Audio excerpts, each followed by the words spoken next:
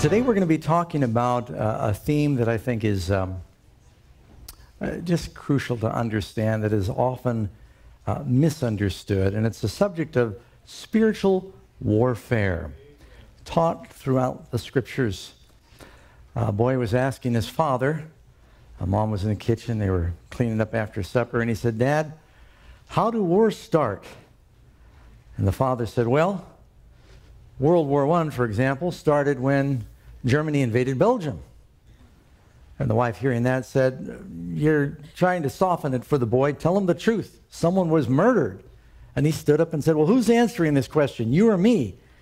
And she went out of the kitchen with a huff and slammed the door. And then the uh, dishes stopped rattling in the cupboard. There was a long silence. And the boy said to his dad, Dad, you don't need to tell me now. I understand how wars start. And it's really as simple as that. It's uh, usually selfishness that starts wars, and that was the beginning of the first war. Um, unfortunately, Jesus said there will be wars and rumors of wars, but the end is not yet, and we've seen plenty of war in human history.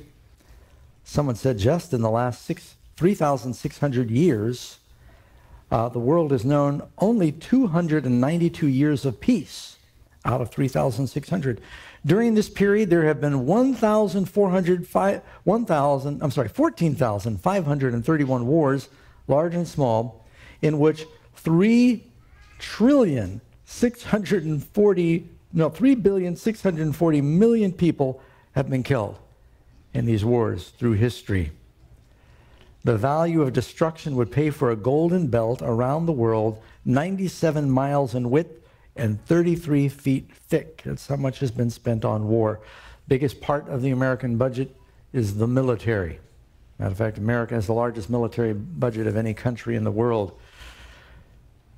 Well, we are at war. There is a war that is going on right now. Uh, we don't like to think about it. If you're a Christian, you think, well, I don't want to be involved in war, then you're, um, then you're, yeah, you're, you're you're missing out uh, on what's really going on around you. And that's just the way the devil would like to have it. Uh, a lot of churches and pastors are telling people you come to Jesus and everything is smooth sailing. In reality, you become an adversary of the enemy when you decide to be a Christian, and you will encounter all kinds of resistance. If you do not sense the war that is going on between the forces of good and evil, even in your own life, if you don't see it in the country, then it might be because you're in the river going towards destruction and you're not swimming against the current. As soon as you begin to swim against the current, you're going to know something about that war. Pastor Billy Sunday used to uh, preach frequently about sin and repentance. And, and one day someone came to him and said, Pastor Sunday, will you please stop rubbing the cat's fur the wrong way? He says, You're always rubbing the cat's fur the wrong way. And Billy Sunday said, That's because the cat needs to turn around. Then I'll be rubbing the fur the right way. And uh, in the world, Jesus said, if the world hated me, it's going to hate you. There is a conflict going on. There is a clash of kingdoms that is taking place in the world today. Now, many nations have been overcome because they were lulled to sleep by the enemy, being told there was no threat of war. The devil doesn't want us to be aware that there's a war going on. You know, one of the most embarrassing moments for the United States was 9/11 uh, was uh, Pearl Harbor, not just 9/11 when uh, our military was attacked.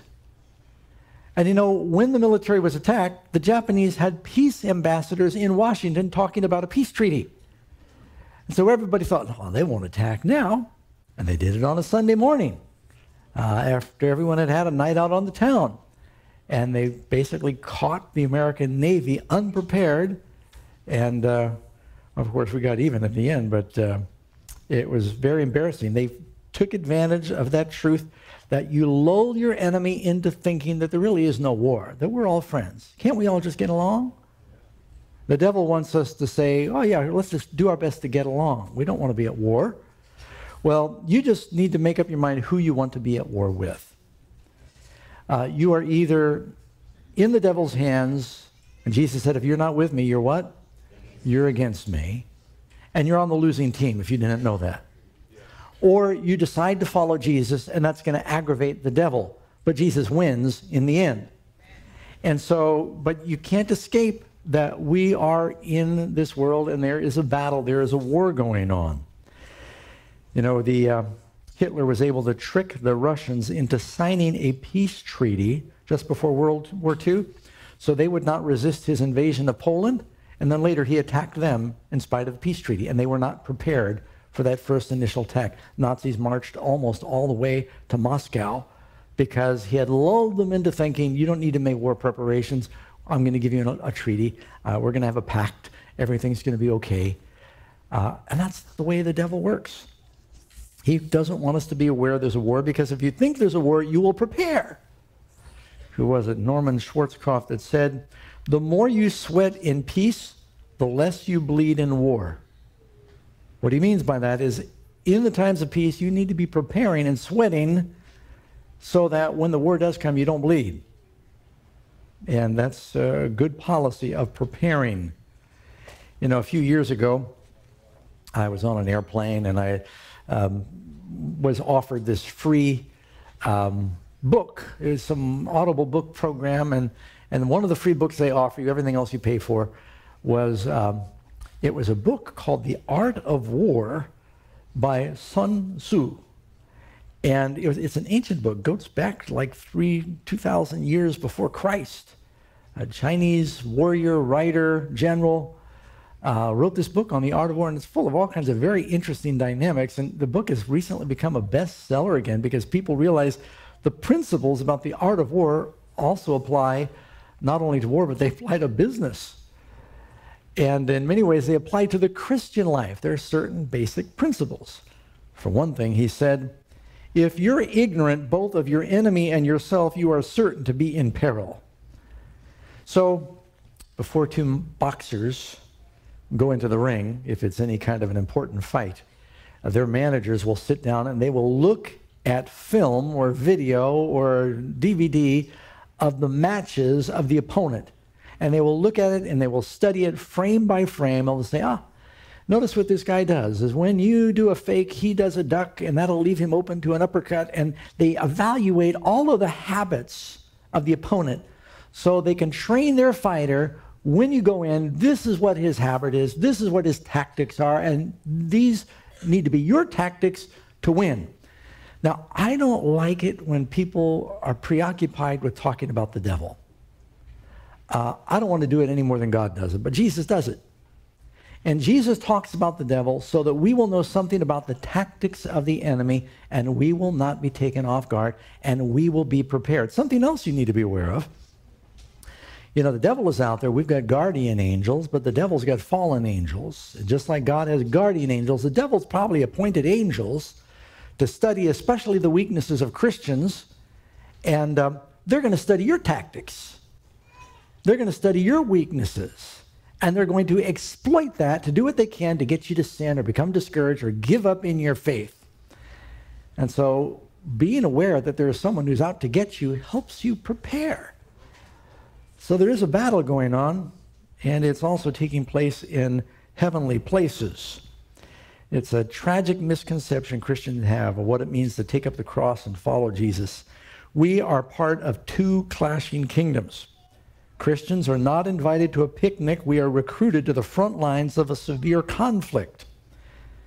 The words the Bible uses to describe the Christian life are war, wrestling, fighting, striving, battling, running.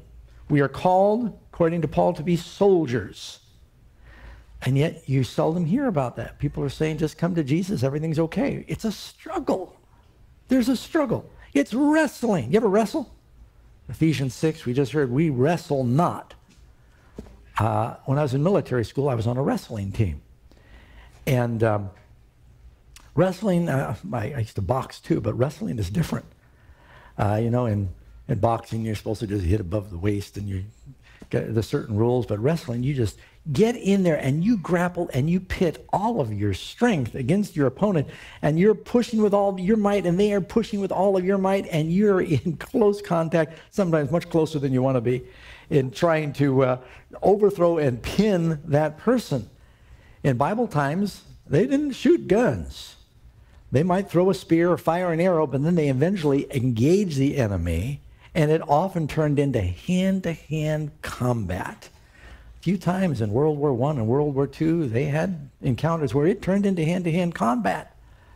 Now everything is, you know, aircraft and drones and mechanized war, but uh, back then it was wrestling with the enemy, like Jacob wrestled with a heavenly force.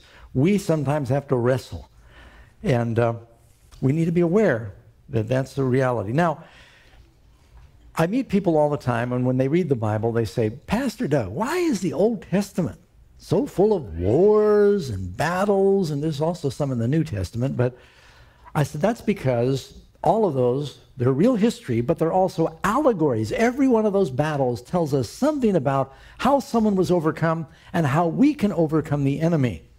And some of the favorite reading for me is going through the stories in the Old Testament of the various kings and the various battles because you learn lessons that prepare you and how to fight against the battles that come to us as Christians.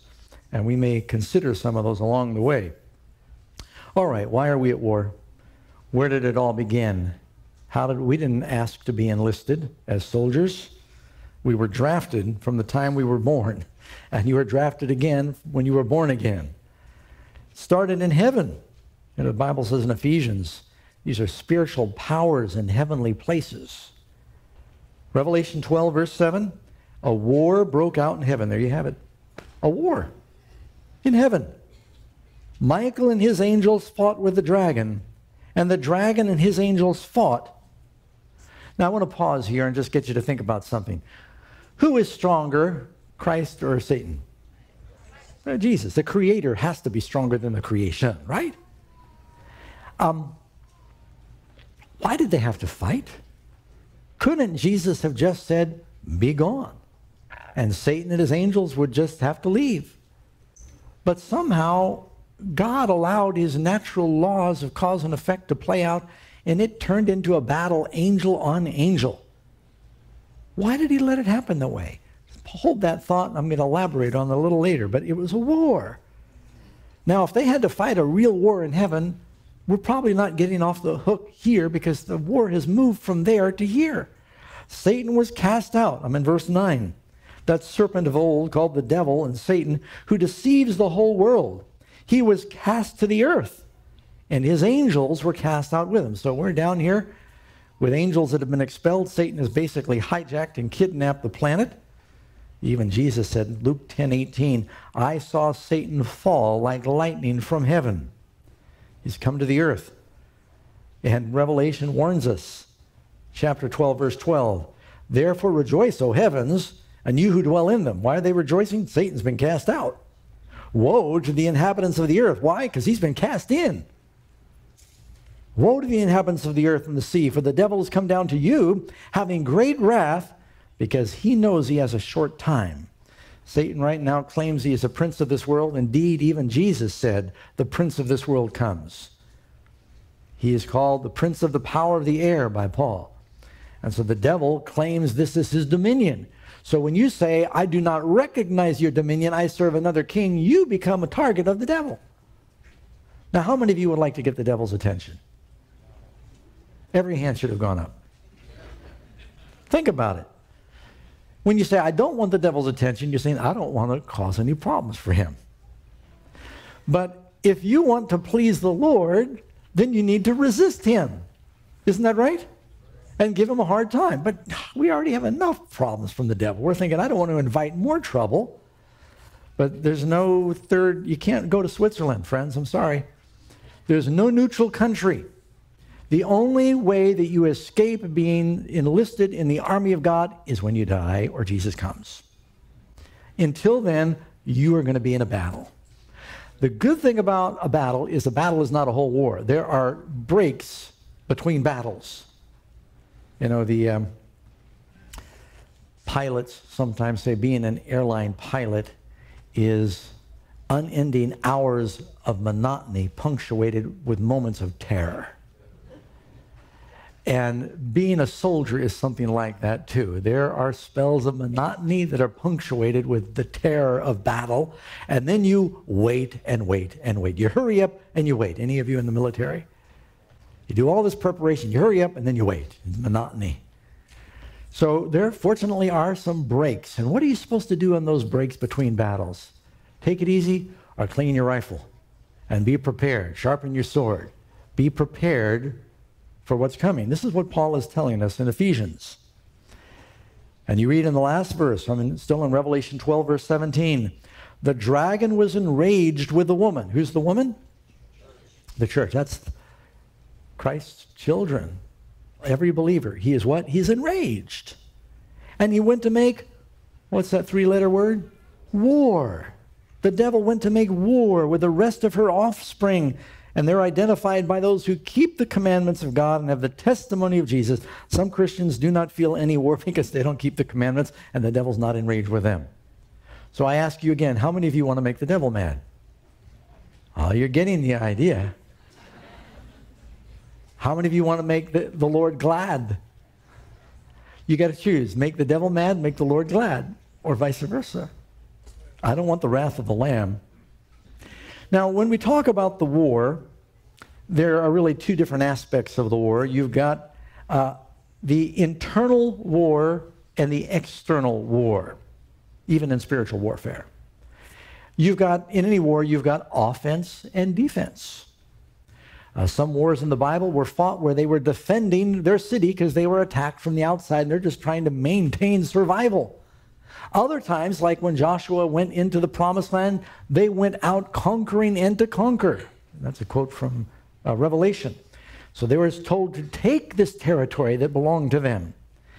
As a Christian, we're involved in both office, offense and defense. A lot of us are always on the defense.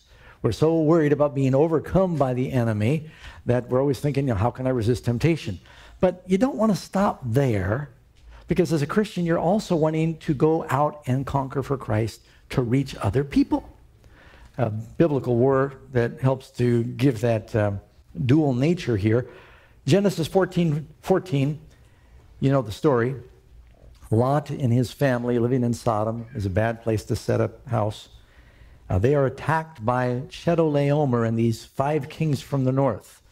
And they come down and they kidnap, they seize all the people from Sodom and Gomorrah and those cities of the plain. They take them back up towards Damascus. Abraham gets word of it. And it says in Genesis 14 14, Abraham heard that his brother was taken captive. It's actually his nephew.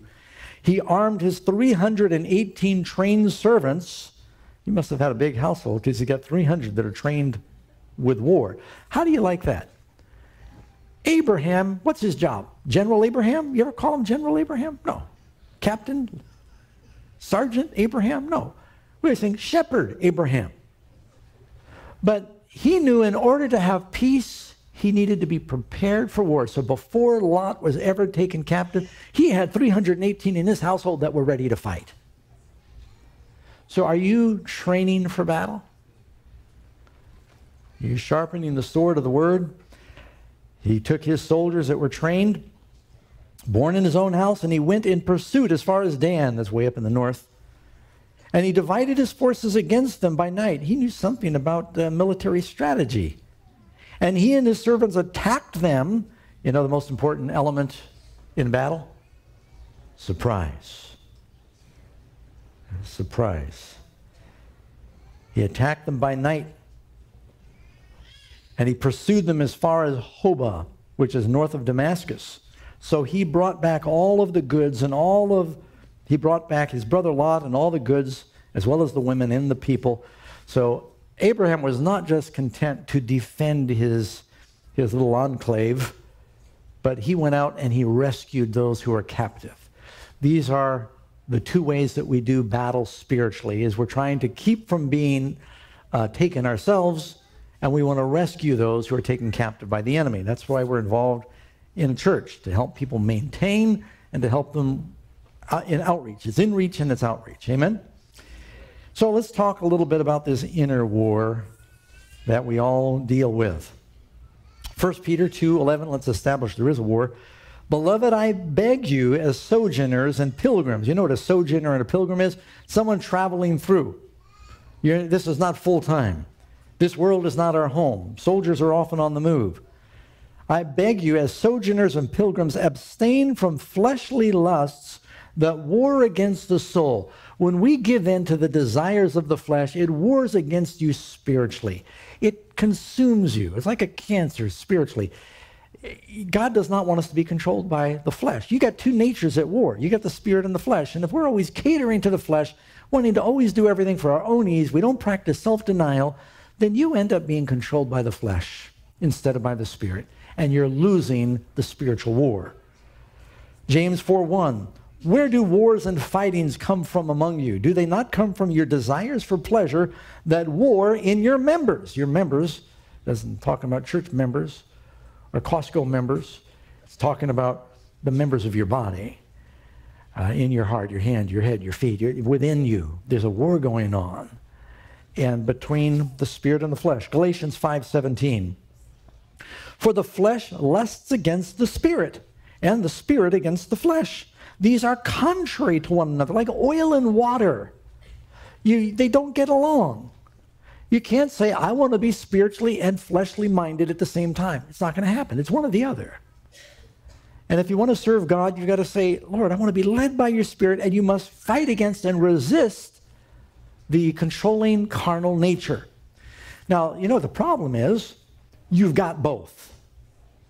As long as you're in this world, you're going to be part animal. That's the carnal, the flesh. In Spanish, the way you say meat is carne, right? Have you ever been to a carnival? You know where it gets its word?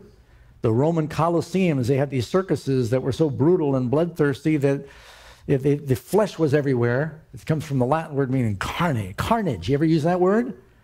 And so gives you, when you go to the California State Fair, just think carnival. Next, I ruined it for you, didn't I? that was my plan.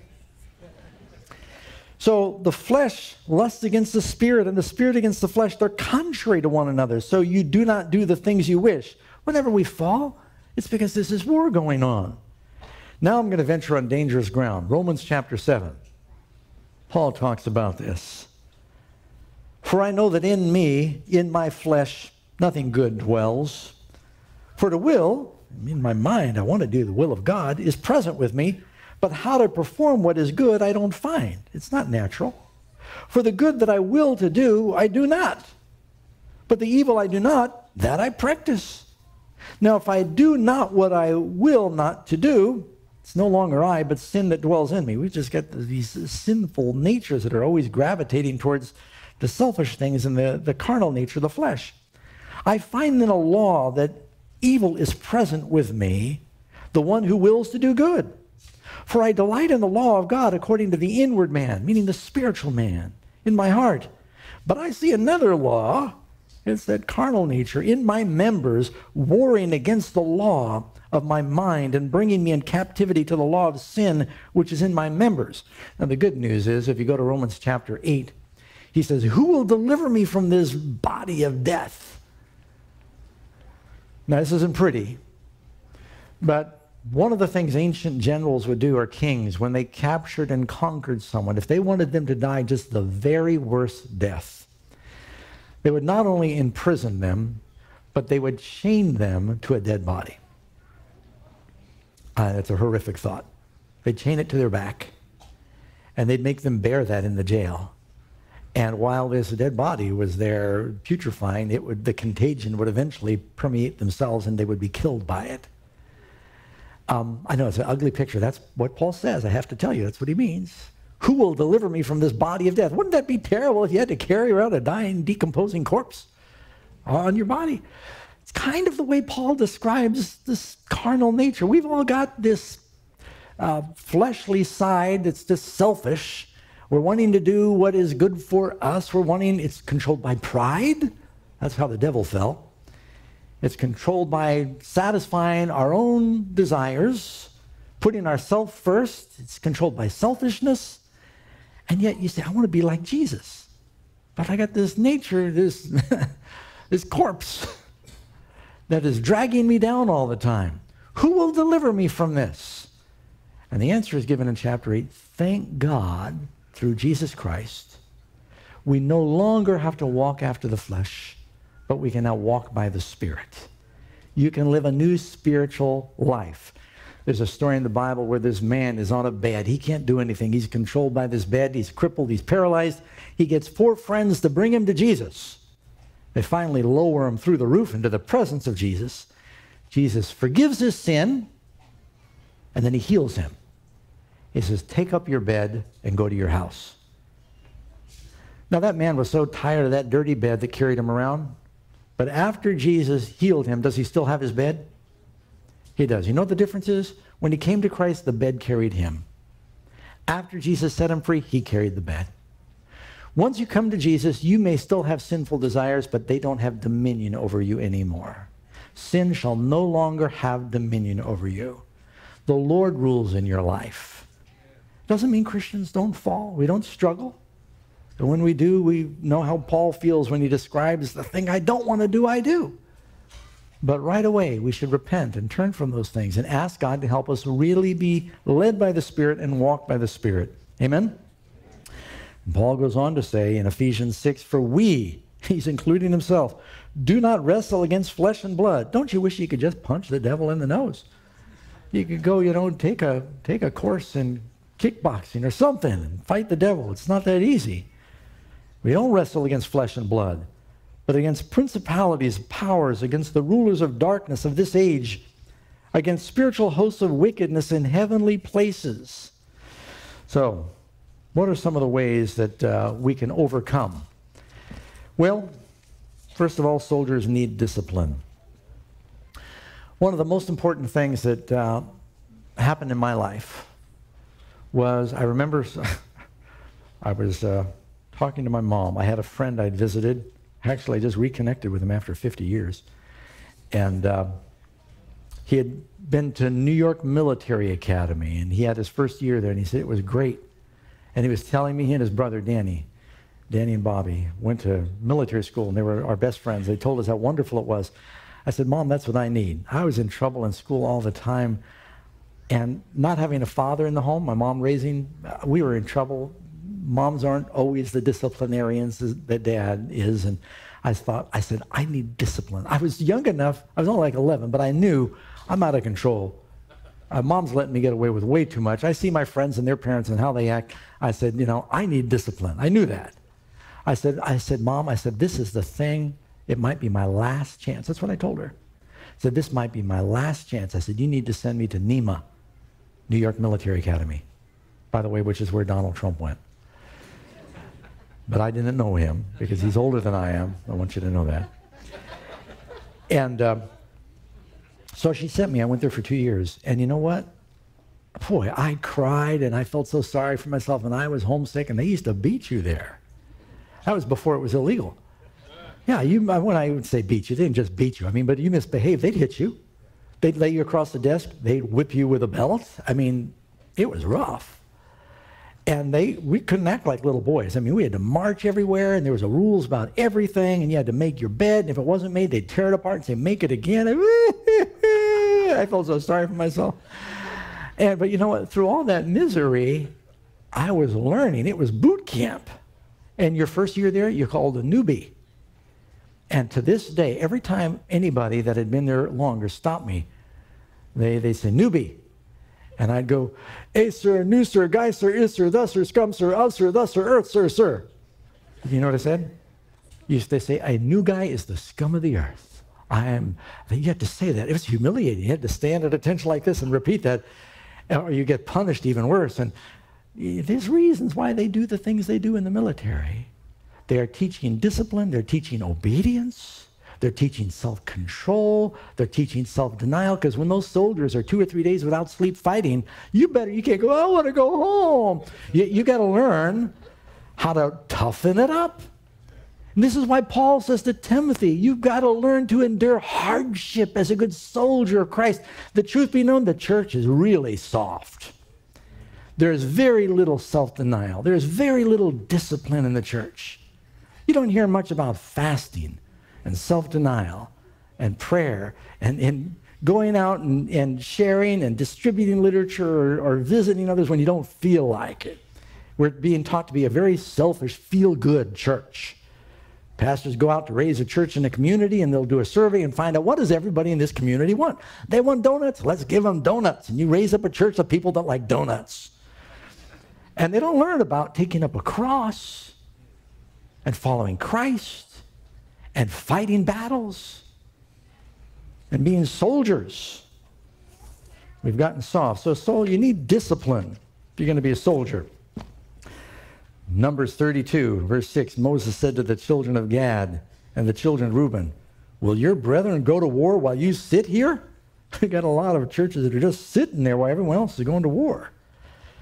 1 Corinthians 9:26 Therefore Paul said I run not with uncertainty. I fight not as one who beats the air but I discipline my body and bring it into subjection lest when I preach to others I myself should be overcome or disqualified.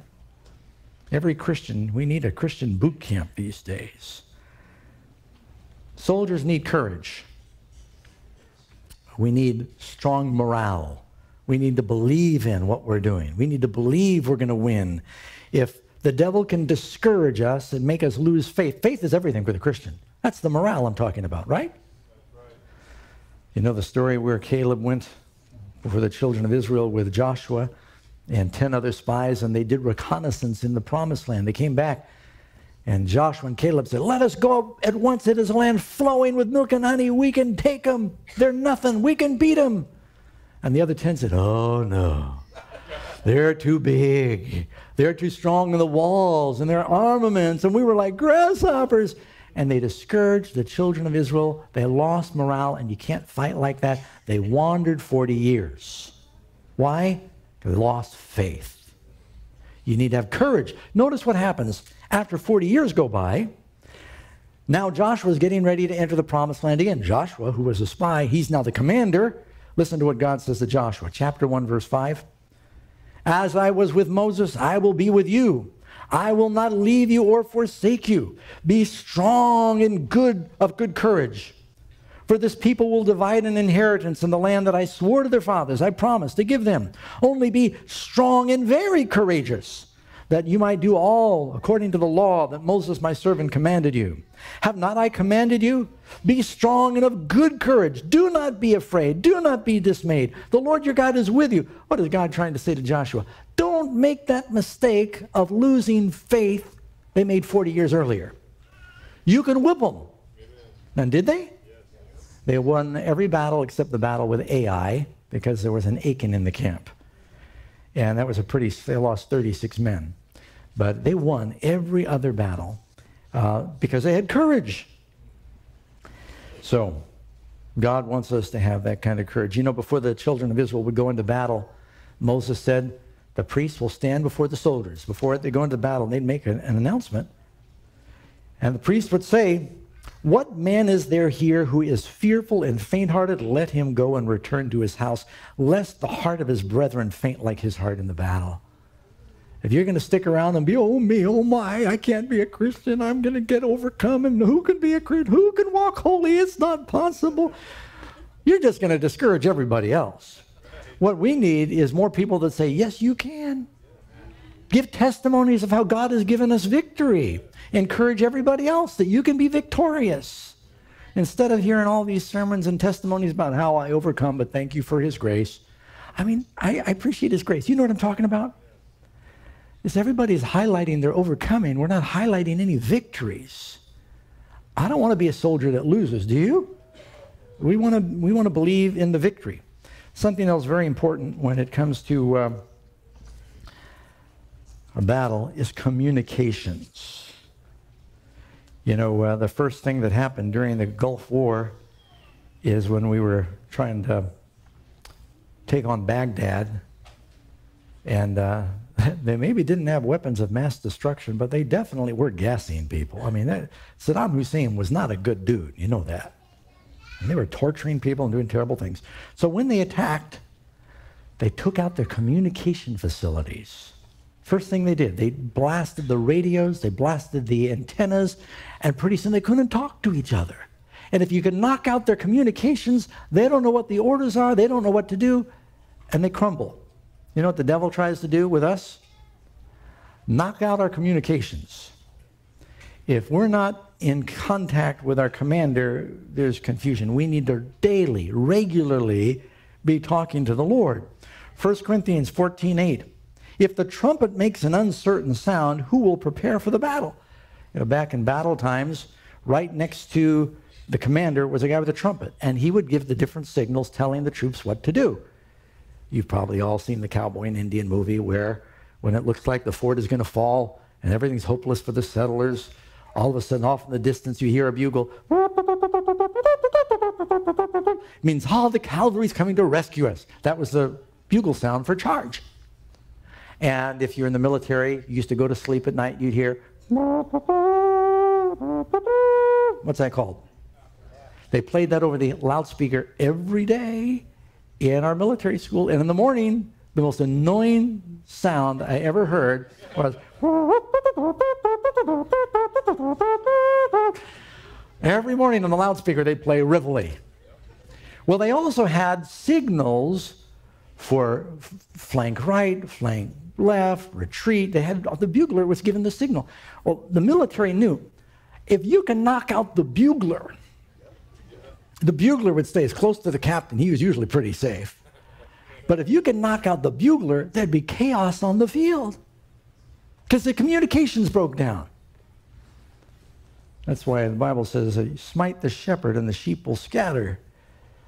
And if we don't pray, Ephesians 6:18 talking about the spiritual warfare, praying always with all prayer and supplication in the spirit, being watchful to this end with all perseverance and supplication for all the saints, not just praying for ourselves, but praying for the saints. Soldiers must watch. Talked about communications. I just mentioned watchful to this end. Ezekiel 33. So you, son of man, I have made a watchman for the house of Israel. Therefore you shall hear the word from my mouth and warn them from me. Over and over again, Jesus tells us about the importance of being watchful. Watch and pray. When does the devil attack? You know, it's often after a victory the devil attacks. Or he attacks you when you're tired, hungry. And these the moments when you're not suspecting and you're the most vulnerable. When did he come to Jesus? 40 days of fasting. When did he come to David? After victory over all the nations, David's just letting Joab mop up and he's on his palace roof. He's victorious. And there's Bathsheba. Now, that was a spiritual war. It started as a spiritual war that manifested itself in the physical. Somebody, some demon told Bathsheba, I know it's broad daylight, but most of the soldiers are gone. Go take a bath in the courtyard. And another devil said, David, why don't you go out and get some fresh air? And I'm sure that was all orchestrated by evil spirits in heavenly places, so to speak. And so uh, you need to be watchful because the devil is always working to bring us down. Mark 13 33. Take heed, Jesus said, watch and pray. How do we watch? He tells us, pray. For you do not know what that time is. It's like a man going into a far country who left his house and gave authority to his servants, to each one his work. And he commanded the doorkeeper, whether it's a guard on the tower or a doorkeeper, watch. Verse 35 Watch, therefore, for you do not know when the master of the house is coming, in the evening, or at midnight, at the crowing of the rooster, or in the morning, lest coming suddenly he find you sleeping. And what I say to you, I say to all. Last words Jesus say, watch. He said, watch, watch, watch. And what does he mean, watch? Mark 14, 38, watch and pray, lest you enter into temptation. So how do we keep from temptation? We watch through prayer be sober, be vigilant through prayer. Praying, how often Paul said, praying always. Being in an attitude of prayer, constant communion with God. You know it's hard to sin when you're talking to God? Next time you're tempted, get on your knees and pray, and you're going to find it very hard to give, give in. You know what your biggest battle is going to be? I don't know if I want to pray. Bible says we're supposed to run from temptation, but most of us crawl hoping it catches us if you choose and make up your mind to pray when you know you're being tempted, you're going to find it's a lot easier to overcome because God will draw near. And who wants to sin in the presence of God? That's very uncomfortable, right? Draw close to God and it'll give you the strength. So that's how we watch and pray.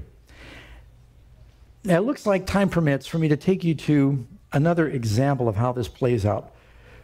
Prayer wins spiritual wars. Spiritual wars are won and lost often through prayer. If you go to Daniel chapter 10 for just a minute, I'm going to look at three verses here. I'm not going to read the whole thing. Daniel 10. In the beginning of the chapter, we find that Daniel is fasting and praying. He's doing a simple fast. In those days, I, Daniel, was mourning three full weeks. He was mourning over the condition of Israel. He was mourning over what was going to happen to the people of God he had heard from through the uh, visions. I ate no pleasant food, nor meat or wine came into my mouth, nor did I anoint myself at all till three whole weeks were fulfilled. So he humbles himself. Daniel is fasting and praying for how long? Three weeks. And he's praying for God's people because the prince of Persia, the king of Persia, was supposed to, Cyrus, let the people go back to Jerusalem. It hadn't happened yet.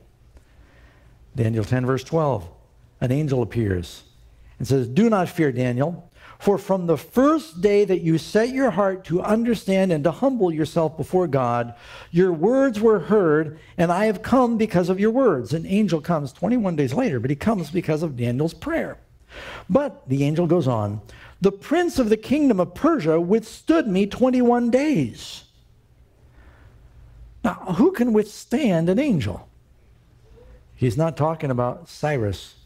He's talking about the devil. See, in the same way that it was the devil that told Herod to kill the babies in Bethlehem, you can often see through history it was the devil that worked behind the king of Tyre in chapter 14 of Isaiah, and or the king of Babylon and in uh, Ezekiel, it's the king of Tyre, is it's the devil behind them all. So it's saying the devil resisted me. This, I think, is very interesting. He withstood me how long? 21 days. How long was Daniel praying? 21 days. And behold, Michael, one of the chief princes, and many believe that Michael is another word for Christ. It's Christ pre incarnation. He is the Son of God. And when it says chief princes, it means chief or the highest of, uh, of all, came to help me, for I had been left alone with the kings of Persia. Now, why would it take an angel 21 days?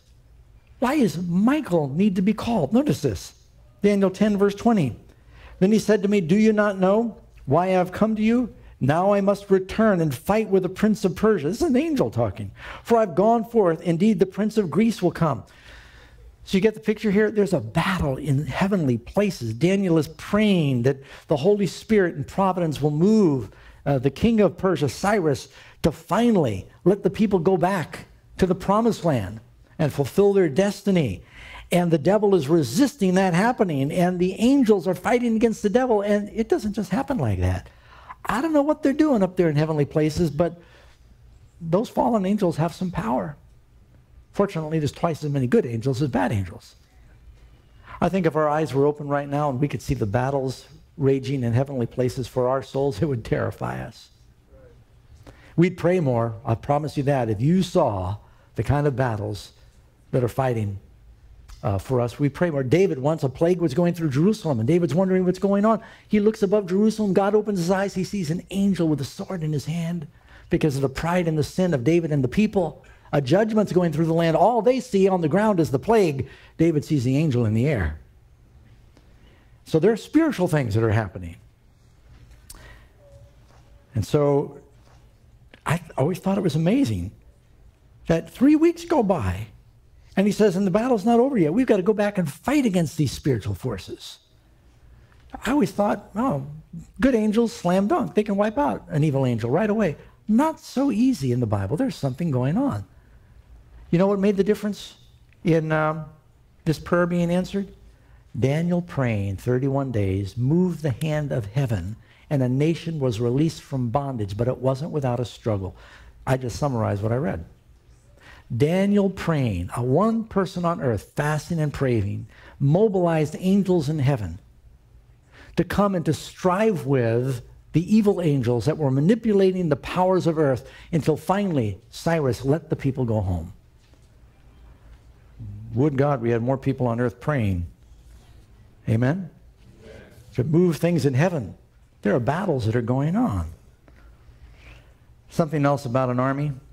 Do you know an army marches on its stomach? You ever heard that? They don't march on their feet, they march on their stomach. You stop feeding soldiers and you watch what happens. They can't fight. I remember reading in the Bible that uh, 1 Samuel 30, David went and his 600 men who were with him, they came to the brook Besor. They're trying to rescue their families that have been kidnapped by the Amalekites. And they left some behind. David pursued, he and 400 men. For 200 stayed behind.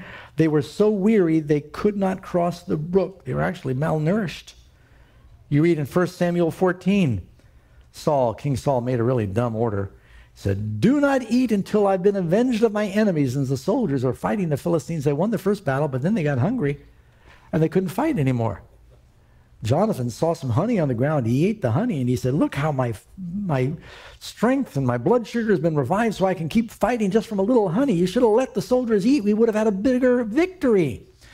You know how the devil tries to overcome the church? You can read in 2 Kings chapter 6, it says that the king of Syria surrounded the Israelites in the north and he starved them through besieging the city so they couldn't fight. He starved them so they couldn't fight. Now, what am I talking about when I say a, an army marches on its stomach? The bread of life. If you want to be able to fight, you need to feed. I saw there was a National Geographic uh, article talked about the bull moose in, in uh, Alaska and in Canada that, you know, they, they get into a big fight in the fall about who's going to be the big moose and get all the, the does. Is that what they call the female moose? The moosettes. And uh, the, the male moose, they go at it and they use their horns as a principal weapon. And whoever has got the most bulk and whoever has the biggest horns usually is the big moose, is the bull moose. And you know how they get the big horns and the bulk? They eat the best food during the summer. Then they're able to fight and win when the battle comes. Uh, you and I, if we are feeding our souls now with the best food, we're going to have the spiritual strength to fight when the battle comes. Can you say amen if that made sense? How many of you ever eat canned food? Any canned food? You ever open a can? How many opened a can in the last week? Do you know why we have canned food? Because Napoleon was losing his battle with Russia because he could not get food to his soldiers without it spoiling first. He offered an award of, I think it was 12,000 francs, if someone could invent a way of preserving the food better for his troops, because an army marches on its stomach. And along came Nicholas Appert. He was a confectionery. and uh, he found that if he used wine bottles and he boiled the food, he didn't even understand Louis Pasteur's bacteria. But he just found that it worked. That if he boiled the vegetables and then corked them, and they were putting fruit and peas and and I wish they'd never invented the canned peas, but the, the, the fruit and the peas and the different things in the bottles, and it worked. And he ended up getting the award. And it was because you got canned food because Napoleon offered a reward to someone who could help his army march. And Daniel came back from the Marines and he brought home some of his MREs. You ever eat an MRE? Meals ready to eat? They've gotten much better, I understand, but it's designed to last. Well, you and I cannot depend on prepackaged food. We need fresh bread every day from the Word of God. Jesus said, Man doesn't live by bread alone, but by every word that proceeds from the mouth of God. Now, I don't want to discourage you when I talk about war. And you think, oh man, don't I get peace? You know you can enjoy peace even in the midst of war? Um, David, who wrote a lot of the Psalms, spent a lot of his life in war. Do you realize David had war with the Philistines, with the Moabites, with the Ammonites, with the Amalekites, with the Edomites, with the Assyrians. Uh, David fought on every front through his life, and he had wars with his own family. Friendly fire. You want to hear a funny story? Somebody in Seattle a few years ago stole a police car, and they realized it, and they put out, you know, cop walks out of the coffee shop, and his car is gone, and they put out an all points bulletin. And all these police cars were chasing down this stolen police car. And one of the cars saw the car and be began to make chase through the city of Seattle, and the car got through an intersection, the light changed, and other cars were, they couldn't, they had to stop at the light. Well, other cars that had gotten the call, they came ahead, they thought that this was a car that had been stolen. So they rammed their fellow officers. Well, the fellow officers, they thought the guy who had stolen the car had gone around the block and rear ended them, and they thought, we're under attack. So they jumped out of the car and started to fire at them. And then the other police began to fire at the ones they just rammed. And they exchanged 20 rounds. It's a miracle nobody was killed before they realized they were shooting at each other. You know why the church is not doing more to conquer for Christ is we're all firing at each other. Friendly fire. David fought a lot of battles in friendly fire. But I said all that because even though David's life was surrounded by war, he wrote the most beautiful Psalms on peace. You can have peace in the midst of a war. I was reading about Stonewall Jackson, an interesting man during the Civil War. He never seemed to be afraid during battle. Matter of fact, that's how he got his name. His name was John. But uh, during a battle, bullets flying everywhere, he's going back and forth up on the hill, uh, surveying his troops and giving orders, standing high in the saddle, looking so calm. And everyone says, Look, he's up there on the hill like a stone wall. We can't get past him. Got the name Stonewall Jackson. And they asked him, Why aren't you afraid? He always displayed extraordinary calm under fire. He said, My religious belief teaches me to feel as safe in battle as in bed. If you're a Christian and you're fighting side by side with King David, you have nothing to fear. You know, I, I told you the battles in the Bible in, inspire me. I remember one battle where all the troops retreated. They were fighting the Philistines over a, a field of barley, and, and uh, all the troops retreated except David would not retreat. And one of his mighty men named Eleazar, I never could forget his name, it's Eleazar the son of Dodo. And look it up. There's not many soldiers like that around anymore because they're extinct.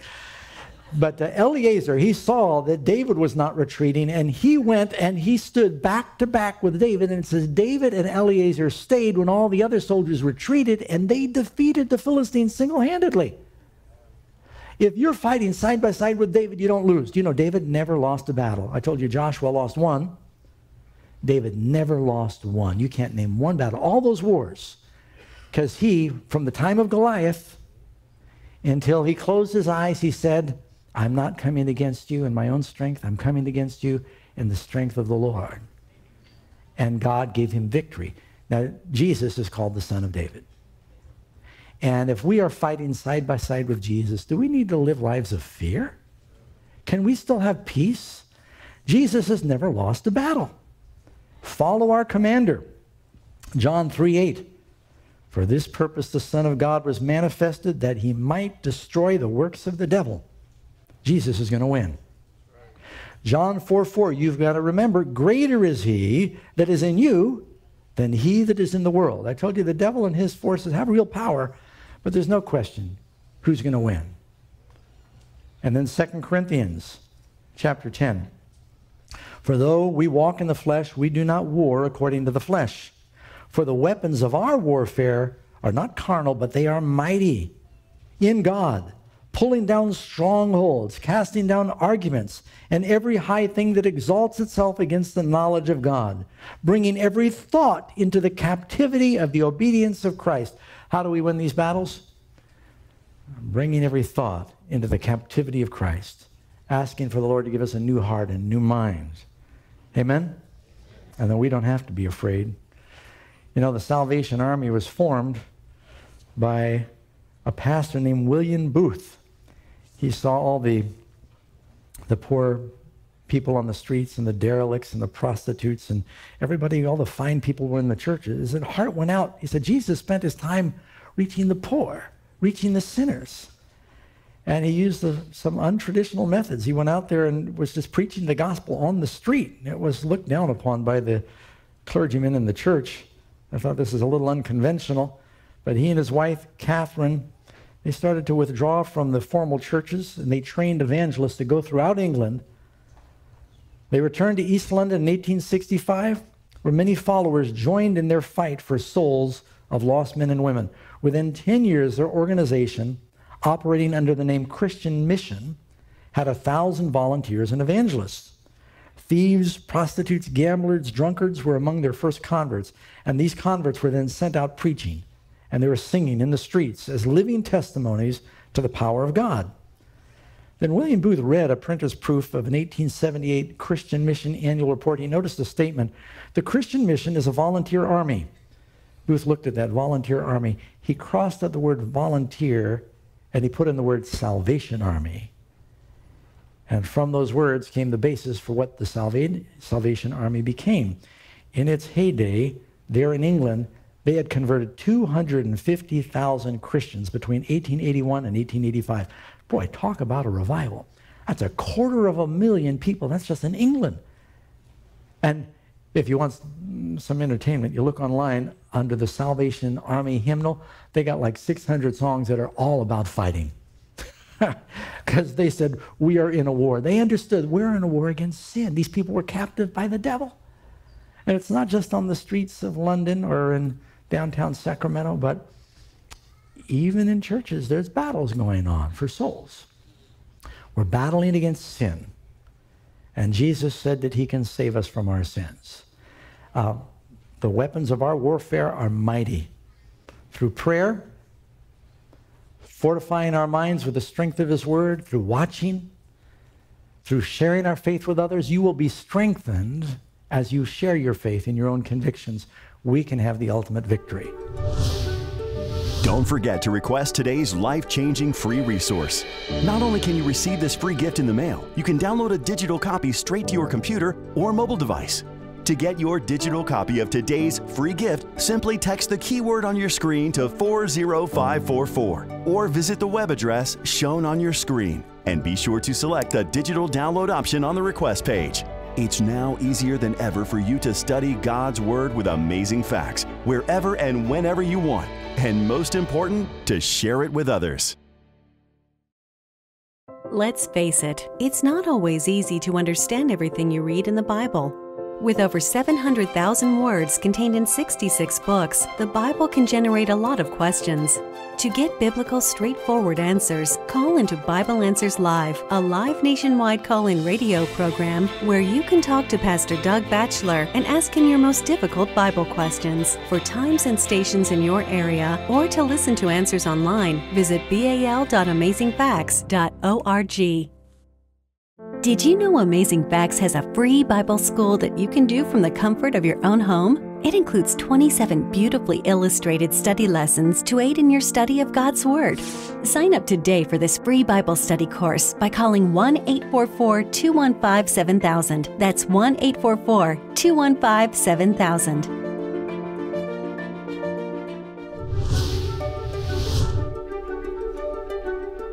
Don't forget to request today's free offer. It's sure to be a blessing. And thank you for your continued support as we take the gospel of Jesus Christ to the world. We hope you'll join us next week as we delve deep into the Word of God to explore more amazing facts.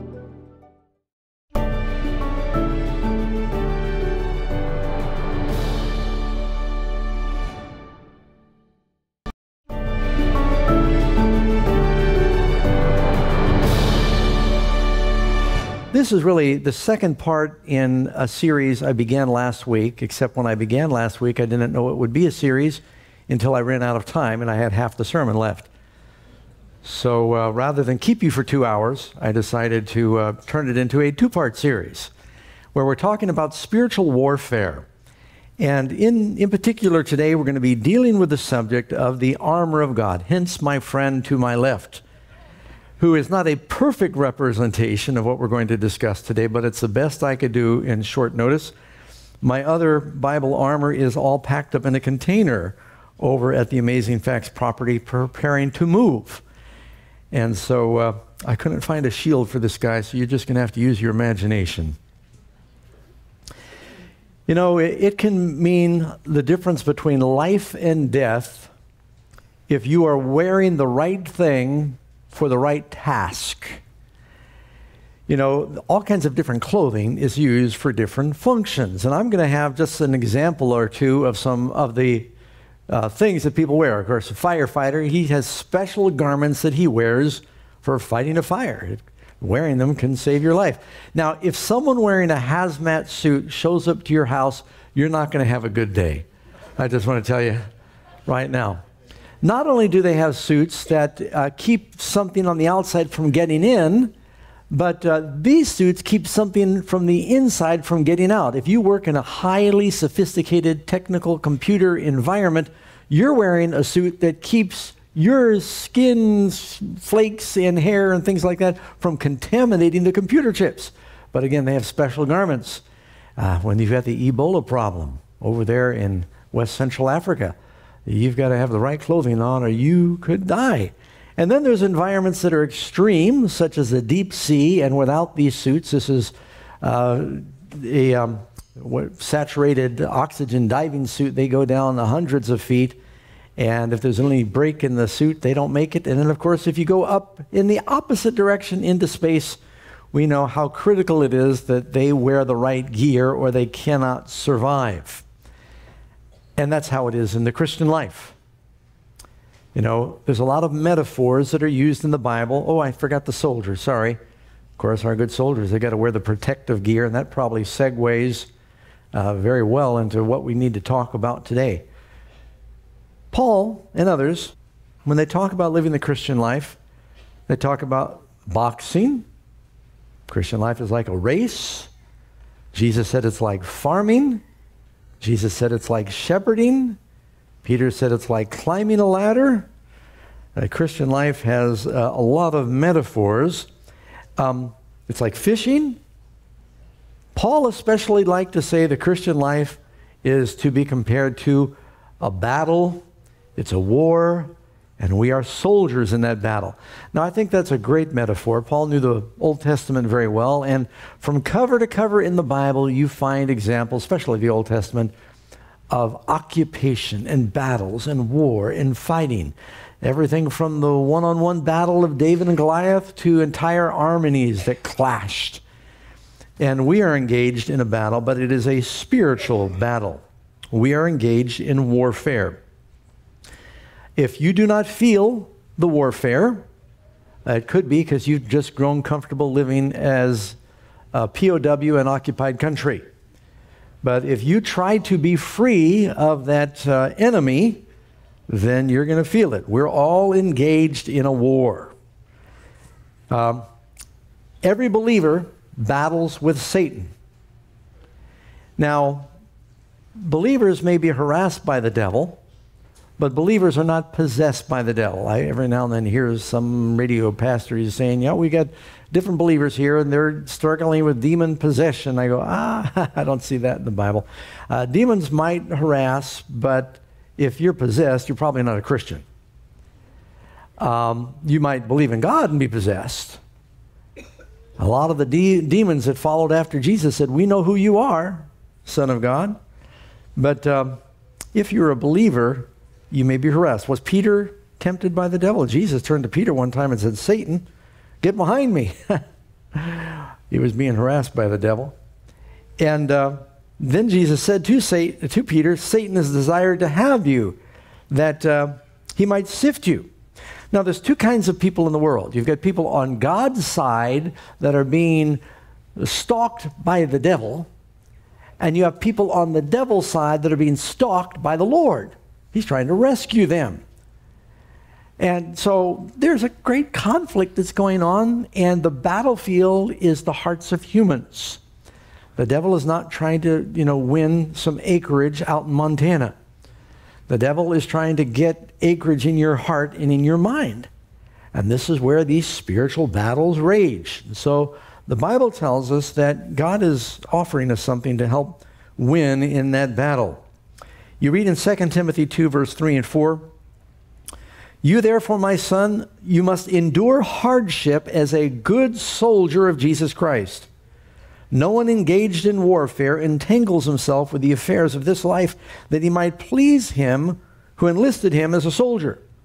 Soldiers were often on the move as they were fighting and going from place to place and fighting battles, and they didn't have time to develop long term Relationships could they could be easily transferred from place to place and be sent out. We need to see ourselves as soldiers for God. And we have special weapons. You read here in 2 Corinthians 10:3, "For though we walk in the flesh, we do not war according to the flesh. For the weapons of our warfare are not carnal, but they are mighty in God, pulling down strongholds, casting down arguments and every high thing that exalts itself against the knowledge of God, bringing every thought into captivity to the obedience of Christ." So you already knew this, but in the battle, we're battling in our thoughts. We're fighting a spiritual battle. It's very real. You're thinking real thoughts even now. And the battle is happening usually in our minds. And but the, we we have some armor that God's provided. Now, Paul, the apostle, I think one reason he used this analogy of the armor of God is few people saw more Roman armor than Paul. Paul spent a lot of time in prison with prison guards outside the doors. Paul went on a cruise where he was chained. You read the last chapters in Acts. He's basically assigned a soldier that guards him all along the way. Paul was uh, a prisoner with a certain amount of freedom, but he was on house arrest in Rome for two years. Probably when Paul wrote the book of Ephesians, he was a prisoner. And while he's writing about the armor of God, he's got a Roman soldier exhibit A right there that he could look at. And so go with me to Ephesians 6, verse 10, and we're going to take a closer look at the armor of God here. Ephesians chapter 6, verse 10. He's concluding the book. And he wants the people to be successful and victorious. And he says, finally, my brethren, be strong in the Lord in the power of his might. Same kind of admonition that God gave to Joshua, saying, Be courageous. Put on the whole armor of God. Now, it's not enough to just put on some of the armor, but we need to put on all the armor. Now, when I first started doing this sermon, on the armor of God. I've been sharing it for years. I thought, well, to be a good pastor, I'm going to look at all the Bible references to armor, see what I can learn. Well, I read that David, when uh, Saul gave David his armor, it didn't fit right, and, and David couldn't use it, and he threw it aside and said to Saul, I've not proved these. And I thought, well, that's not going to help me. It was bad armor. And then I read about um, Ahab he went into battle wearing his armor, and he thought it was going to save him against the Syrians, but a, a stray arrow ricocheted off something and came down and hit him in the joint of the armor. One little vulnerable spot cut a major artery, and he bled to death. So, well, that armor didn't help him very much. This isn't going well for my sermon. And then I thought about uh, the different ones in the Bible that went into battle with armors and they died. And I thought, Lord, help me understand. And God said, Doug, you're, you're looking at all wrong. I'm not saying put on the armor of men. You're looking at all the armor of men. I'm saying put on the armor of God. That armor does not fail. It says, put on the whole armor of God that you might be able to stand against the wiles of the devil, the cunning of the devil, the sneakiness of the devil. So we're wanting this armor because the devil is using his stratagem to tempt us, to discourage us, to mislead us, to confuse us, and we need the armor to protect us in our thinking. That you might be able to stand against the wiles of the devil, for we do not wrestle against flesh and blood, but against principalities, against powers, against the rulers of the darkness of this age, against spiritual hosts of wickedness in the heavenly places. The devil is called the prince of the power of the air. There's a whole dimension of angels and a spirit world around us. The angels see each other. The good angels see the bad angels, and vice versa, and they fight. And we don't know what kind of wrestling or battling they do or how they do that. And some of these things are going to probably be unveiled in the resurrection when we get our spiritual natures back, our spiritual dimension back, I should say. But there's a whole world an angelic world where there are good and evil angels, and evidently there are different ranks. We know the devil outranks the others, and uh, like any army, there are probably different divisions and different ranks and different authorities, and they may have, you can read in the books of Ezekiel and Isaiah where it talks about these devils that are battling with the kings of Tyre and Babylon. You read in Daniel, the king of Persia. There may be different ranking devils that do this. Typically, when the average person says, The devil is tempting me, you're flattering yourself. Now, the devil is not all knowing, he's not omnipresent, but he has demons that work under him. And I don't know what the name would be of your particular demon, but we're typically talking about fallen angels that have been assigned to the sons of men to try to deceive and discourage, and they study your weaknesses. And, and uh, uh, C.S. Lewis, how many of you have read the Screwtape Letters? then you know what I'm talking about. I think he actually has some good insights there about how, how there's this battle going on, and they're studying us to bring us down. And they're fighting against the power of God who's trying to redeem us. And our only safeguard is in putting on the armor of God. Because your death and destruction is his objective. The devil is called the accuser of the brethren. He stood there in, in Zechariah and he accuses Joshua the high priest. And you can see in the book of Jude when Christ is coming to resurrect Moses, the devil says, You can't have him. He sinned. And there's, a, there's an argument that's going on. There's a contest. It's like a court case. And the devil is trying to keep God from saving people because misery loves country, company. Devils come down with great wrath because his time is short. But there is a very real battle that goes on in our minds between the attitudes of the devil and the Spirit of Christ. He said that you might be able to stand against the wiles of the devil. We're not wrestling against normal people. Therefore, take up Verse 13, the whole armor of God that you might be able to withstand in the evil day. And when it says the evil day, it means a day of temptation, when temptations come. Having done all to stand, stand. Are you noticing a certain word seems to be popping up? stand, stand, stand, withstand.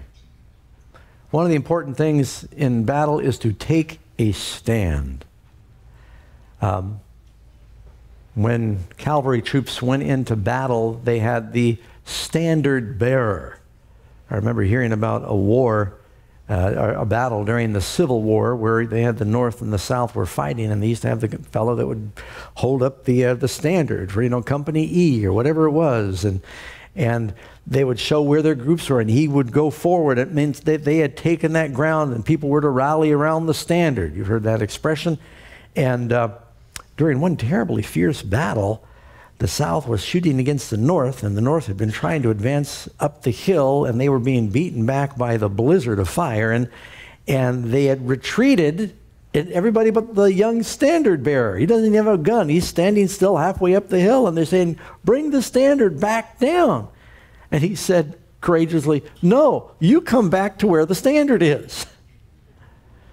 And that's probably a, a good example of what's happened in a lot of Christian values and morals. We're wanting to lower the standard to where the people are. And God is saying, no, the Word of God does not change. You need to bring the people up to where the Word is. That's the standard for us.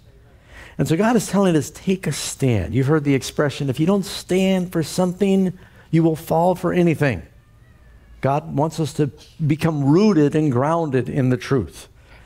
Don't be wishy washy. Otherwise, James says you're like a boat without a rudder and you're being battered whichever way the wind blows, beaten around with every wind of doctrine. And you know people like that. They're not sure what they believe from day to day, and they just jump from pillar to post in their theology. And we need to be rooted in the truth. Stand, therefore, girding your waist with the truth, the belt of truth, having put on the breastplate of righteousness and having shod your feet with the preparation of the gospel of peace. And above all, taking the shield of faith with which you will be able to quench all of the fiery darts of the wicked one. And taking the helmet of salvation and the sword of the Spirit, which is the word of God. Praying with all prayer and supplication in the Spirit, being watchful to this end with all perseverance and supplication for the saints, and for me, that utterance might be given to me that I might open my mouth boldly to make known the mystery of the gospel, for which I am an ambassador in chains, that I may speak boldly as I ought to speak. It's amazing to me how often the disciples prayed specifically for boldness. There's a, danger they understood to being meek Christians, or where you're so meek that you don't ever say what you believe. He said that we might be given boldness to proclaim what we believe. Now, that's the main passage we're talking about today. I just read it for you there from Ephesians chapter 6, 10 through 18. You've got seven aspects in the armor that I'm talking about. And that would be the belt of truth, the breastplate of righteousness, the shield of faith, the helmet of salvation, the shoes of the gospel, the sword of his word, and watchfulness and prayer. And I know prayer is not an article, but it was an attitude and uh, something that is mentioned by Paul in the list, and seven makes a nice, good biblical number, so I included it. First one belt of truth. I always wear a belt. And uh, it's not because I'm afraid my pants are going to fall down. But for years, I wore a belt because I always had a knife and I needed the belt to hold my knife. And now people told me that it just didn't look good for me to always have a Swiss Army knife. You can ask people who work with me at Amazing Facts. Until 9 11, I always had, 20 years, I always had a Swiss Army knife. But then I got on several planes and I forgot to take my knife off and they took my knife away. So I learned. But I still, when I go up to the ranch, I always have a Swiss Army knife. Now I always have a phone clipped on my belt. But I leave it in my car during church, otherwise, it would go off and embarrass me. Um, but belts in Bible times, it was meant to hold everything together and to um, attach different gear. It could be either leather, it might be stiff cloth, where it was like uh, a sash.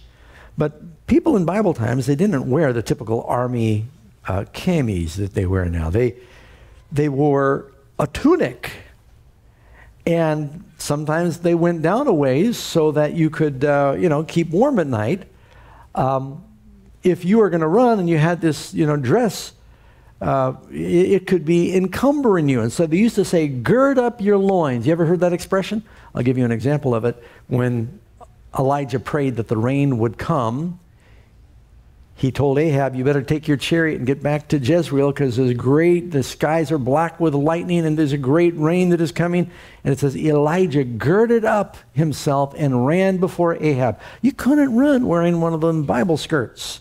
And you wouldn't want to go into battle with your skirt flapping everywhere and your, your enemy takes it and pulls it over your head. And, and uh, you know, so what they would do is they took this belt and they, they tied it and they tucked it tightly in there. They had a way of weaving it together. I'm always amazed. I've, I see my friends in the Middle East and some parts of India, they put these turbans on, how quickly they can wrap one of those things, and it stays on all day long. If I tried to do that, it would fall. Off I have nothing to hold it down, but it would slip off right away. But they knew how to gird up everything into the belt. It held everything together. And it, it uh, is represented as the truth. Now, when it tells us we're to have on the belt of truth, what does that mean? Well, first of all, as we go through these different implements, it's talking about characteristics of the Christian. It's not some spiritual mystery. God wants you to be truthful on the inside and sharing truth. So, truth is the standard you live by. You are not dishonest, you have integrity. Truth is used 235 times in the Bible. Christians believe in something called absolute truth. People in the world, they've got a different attitude. It's relative truth. They say, well, that's true for you, but this is true for me. Have you heard that before? It's like everybody gets to pick their own truth. But you know, scientifically, that never works. You find a scientist that says, well, that'll be true for you and this will be true for me. They say, no, we can't make chemistry and medicine. You can't plan engineering based on, well, that'll be your truth and this will be my truth. There are laws that govern medicine and science and engineering and aviation, and you never want to get on an airplane and halfway through the flight have the pilot say, you know, I, I believe differently about aviation laws now. I think this ship is designed to, to float, this plane. And you're going to no. Or I think that I can slow it down below the recommended speed and it won't stall. Let's all try this together. No, there's laws. And if you go below the stall speed, it will stall. Well, it's not only true in these other fields, it is true when it comes to the purpose of life. There is an absolute truth. And yet, the world has become so wishy-washy and they say well i'm glad for you and your truth and i've got my truth and i may change my truth tomorrow. And it's like it's like nothing really means anything. But in the bible there's something they call absolute truth. Jesus said i am the truth. I am the embodiment of truth. And yet pilate he was like the culture today. He said oh, what is truth? Who knows what truth is? Jesus said you better know the truth because the truth will set you free. So, right there in the very middle, you get the belt of truth. Put, keeps everything in its place, gives you perspective, helps you stay together. A Christian is to know the truth, tell the truth, share the truth, and live the truth. Amen?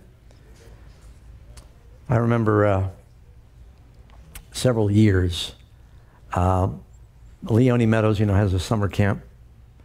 And if you're a pastor, uh, when my kids were young, I could take the kids for free if I would do the devotionals during the summer camp. It was a great job. I mean, I, I was pastor at the aquatics camp. And that meant I did a morning worship, I did an evening worship, and I played with my kids all day long, and it was paid for. It was a great job. It's only a, you know a week or so, but it was a great job. And but I remember, uh, you know, I also grew up on the water. My dad had a house on the water. We had three boats in the backyard sorry, ski boat among the others, and we knew how to ski. So I would help the kids learn to ski. Well, they had one boat out there was teaching the kids how to ski barefoot. And you realize, of course, when you're skiing barefoot, you have to go faster because you've got very little spot, your feet displacing your weight. And in order for it to work, you got to go quicker. And so we had this boom that went off the side of the boat not off the back, went off the side of the boat. And as we got up to about 35 miles an hour, the people who were wanting to learn to barefoot ski, they'd go out and they'd step outside, they'd hold on the boom, they'd get all their weight on one foot, and then they'd transfer to their other foot, and they'd be going, oh, I'm skiing barefoot. And once they got that real good, you might try and get them going on the rope, where they would drop a ski, go down on a foot, drop the other ski, and they're learning to ski barefoot. It's pretty difficult process. And, and the thing is, if you make a mistake, when you fall, and you will, you don't fall at the typical 20 miles an hour. You fall at 35 or 40 miles an hour, which means you don't just splash underwater like a swimming pool. You skip across the top of the water, and it is violent. It's like concrete. Well, I remember there was this one young man. He was he wanted to learn to ski barefoot. He was very ambitious. Um, he didn't look like he was built for it. He was a little bigger than the average kid at camp around, and. Uh, and I remember he was wearing a, still remember, he had a checker flag bathing suit. A bathing suit looked like the, you know, the winning flag on a, on a race. And he said, I want to learn to barefoot. He, sure, yeah, I can do it. I want to do it. And so we got going, you know, he had his life jacket on. We got going real fast and he sat on the edge of the boat. We said, okay, hang on now, get, put out one foot. And he put out one foot and, and he was going. We said, are you ready? You ready? He said, water was glass. It was perfect conditions. Put out the other foot. He put out the other foot and he was going. He looked over at us, ah, I'm doing it, you know and he got his toe under. That's all it takes. Toe under. He, just went, Poof, he just disappeared. And then we saw him go, choo, choo, choo, choo, choo, choo. He's skipping across the water. And uh, we were a little worried about him because he hit pretty hard. Uh, and we circled around. We came back and said, Are you okay? Uh, yeah. He looked pretty dazed. Do you want to try it again? No. I said, Okay. You want to hop in the boat? No. You okay? Yeah. Do you want to try it again? No. You don't want to get in the boat? No. And we saw him kind of looking around. And finally, and he looked like he was swimming with his legs tucked up real tight to his chest by his life vest. Well, he couldn't figure out what was he. He said, "You hurt yourself." And, you know, and finally, he said, "I can't find my suit." Now, the manufacturer, he had a wardrobe malfunction, is what happened. The manufacturers put a string, you know, inside boys' bathing suits so that it's, you can cinch it up around your hips so if you go off the high dive, you still have it with you when you come up. And he didn't know about that belt. And as a result of that, he was very embarrassed. Christians, the Bible says, should know the truth. We should be ready to give an answer to anyone that asks us the reason for the hope that is in us with meekness and fear. Amen? And so uh, you got to cinch on that belt of truth and it keeps everything in place. The next article was the breastplate of righteousness. Now, the breastplate, of course, is in, you know, we can show this up here. It's, it's this part. Uh, and it was often made from, it could be leather, thick leather like ox leather, which is much tougher than you would think. And this, sometimes it had metal riveted to it, or it could be solid metal, but they almost always put a tunic underneath it because it could be chain mail, it could be scales. You remember Goliath had on his big, his armor? And matter of fact, I think Goliath's weighed 100, it gives you the weight. I think it's like 122 pounds. Uh, you could look it up and double check, but it was very heavy. And, um, but you had to wear a robe underneath it. So when you're talking about the armor, you put on the robe first. Because if you're out on a hot day and you got metal scales up against your skin, you just get burned. And so, and you move around, it's pinching you everywhere. So they had a good tunic underneath there, this robe underneath the armor. And we put on the robe of Christ's righteousness first. Amen? And then they'd put this over it, and it would protect all of the vital organs because you might get cut on the hand or the arm or the leg or the foot, and you could limp out of the battle and live to fight another day. But back in Bible times, if they got you in the torso with a sword, then that was usually it. And it tells about several battles. You know, the brother of uh, Joab and Abishai, he was stabbed with the back of a spear by um, Abner. And there's nothing anyone could do. He slowly died because he got him in the torso, and they had no way to treat infection back then. Joab then got even with Abner, stabbed him in the torso, as he did Amasai. And, and that was your kill zone, as they say. And you needed that breastplate of righteousness to survive. It was one of the most critical parts of the uh, gear. Now, it could take a, a, bunch of scales with between 700 and 1,000 per uh, coat. What does it mean? Jesus said, Blessed are those who hunger and thirst for righteousness, for they will be filled. Well, you cannot survive as a Christian without righteousness. It begins with what you call righteousness that comes through justification. We put on the righteousness of Christ. He gives it to us as a gift. It's like the prodigal son when he comes home, the father gives him the best robe. So, first, it's the righteousness that comes from Christ as a gift. But then you've got something called sanctification. It means that you live a righteous life. You and I, say amen, please. You and I must hunger and thirst after righteousness. Isaiah 59 17. For he put on righteousness as a breastplate. This is what Paul is referring to in the New Testament. He put on righteousness as a breastplate and a helmet of salvation on his head, which we referred to a little later. Job 29 14, I put on righteousness and it clothed me. We accept the righteousness of Christ, and then we want to live a righteous life. Righteousness is the opposite of wrongiousness. It means you do the right things. When you know what's right, you do what's right. James 4 7, therefore submit to God resist the devil and he will flee with you. Another interesting factor about this breastplate it usually it had the front and the torso maybe the shoulders that it would protect and the abdomen and it was strapped in the back at least the typical roman breastplate which is what paul is talking about. It did not provide protection on the back. They hadn't developed this medieval ancient english french armor yet which meant you didn't turn your back to the enemy because the devil is not beyond stabbing you in the back. You know that don't you and so you wanted to face him. The Bible says that um, you resist the devil and he will flee from you. You face the enemy in courage. I love the story in the Bible, and I think I mentioned it to you before about when David and Eleazar fought back to back when they were attacked by an army of Philistines and they defeated them all, but they had to cover each other's back. You've heard that expression? If you're in the Air Force, they say, Do you have my six? He had 12 o'clock was ahead of you, 6 o'clock was your back. Means I'm covering your back. Because the back was exposed in Bible times. You didn't have armor back there. And so uh, we need to put on that armor. Matthew 4.10. Now something else about this, the breastplate of righteousness. Um,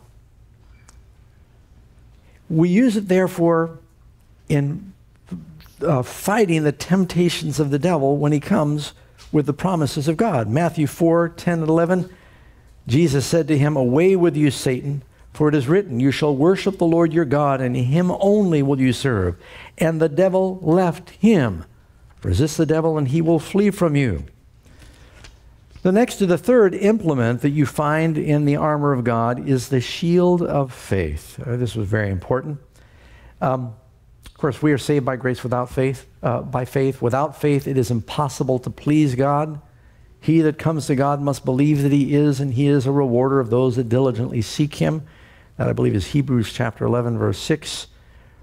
1 Peter 5, 8, and 9, be sober, be vigilant, because your adversary, the devil, is going about like a roaring lion, seeking whom he might devour. Now, when we describe the shield of faith, it says you have the shield that you may be able to quench the fiery darts of the enemy. And I think the little picture there you can see is shield, Roman shields full of arrows. They used to sometimes light them on fire. Now, the idea of the shield, and in the Roman shield, was big enough where theoretically you could crouch and you could cover your whole body with it if you're approaching a city wall or another army and the hail of arrows comes down on you. You'd crouch behind it and you'd get just full body protection. A little bit of your helmet might stick up, but you're covered there too. Um, the Spartan soldiers, the mothers, when they sent their sons off to battle, they'd say, Come home with your shield or on it because the shield was actually big enough where you could carry somebody on the shield. And so these were formidable. They were sometimes made out of wood covered with leather. Uh, some of them were made out of steel. They were usually a little smaller because they were much heavier. But uh, the idea of the shield is it keeps you from being struck by the darts or the spear, whatever's coming at you. One of the most successful things you can do as a Christian, practically, is don't get near temptation. The shield kept those fiery darts from making contact. We get into trouble because we get too close to it. And, you know, in some countries, when they would fire arrows and shields and knives, they didn't have to inflict a mortal wound. They would poison the edges so just even a paper cut could take you down eventually. You don't want to have any contact with it. A lot of us fall into temptation because we get so close to it that we're brushing up against it all the time, and then we can't resist at that point. The shield kept it out away from us. Amen? And we need to be on our guard. The enemy is constantly firing volleys of those flaming arrows at trying to uh, engage our carnal desires. And uh, the purpose of the shield is to deflect them. Psalm 119, verse 114. You are my hiding place and my shield. I hope in your word. So again, the word is really part of everything. Having faith in God's promises. Genesis 15:1. This is what God said to Abraham. After these things, the Lord came to Abraham in vision, saying, Do not be afraid, Abraham. I am your shield and your exceeding great reward.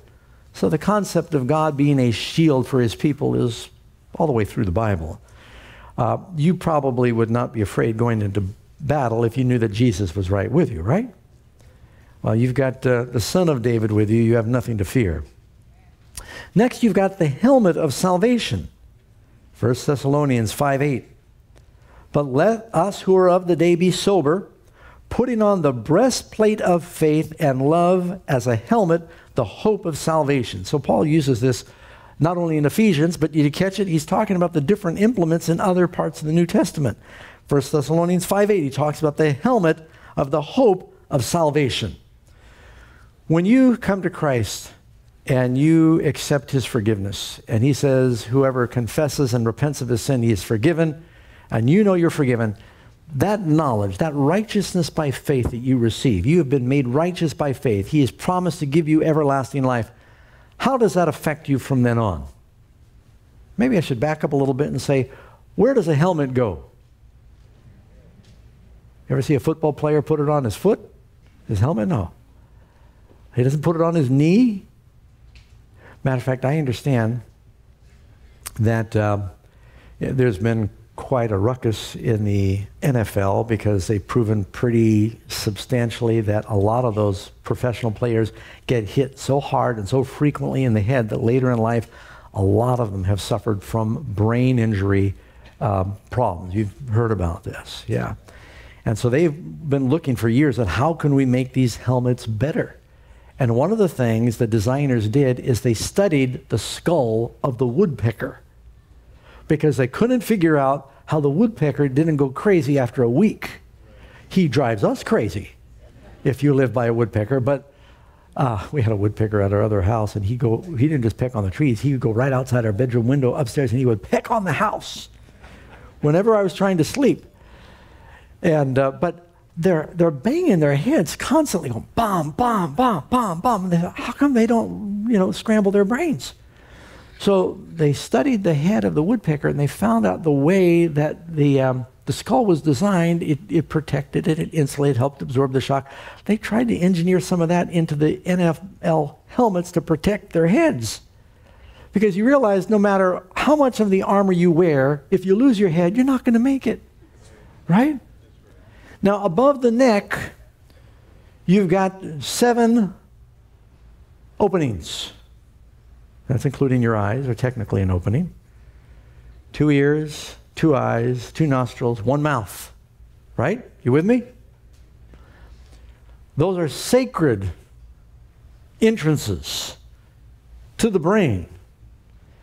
And as a Christian, I almost think of the helmet as something like what a space suit might be, where it's giving you a whole different atmosphere under there that keeps you from having, you know, they say if you lose your helmet in space, it just kind of explode because the, uh, you don't quite explode, but uh, there's no pressure there. You need it to maintain that pressure to keep you alive.